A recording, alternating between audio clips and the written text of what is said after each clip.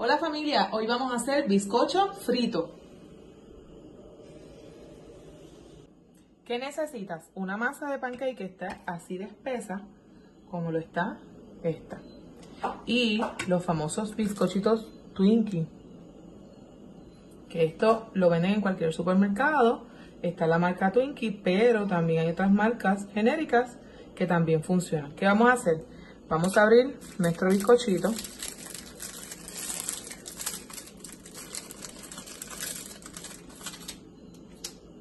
Con un palillo de pincho lo introducimos por el medio del bizcochito.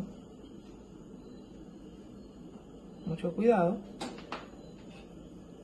Y ahora el bizcochito, vamos la masa de pancake y se la colocamos por encima. Y vamos a cubrir todo el bizcocho.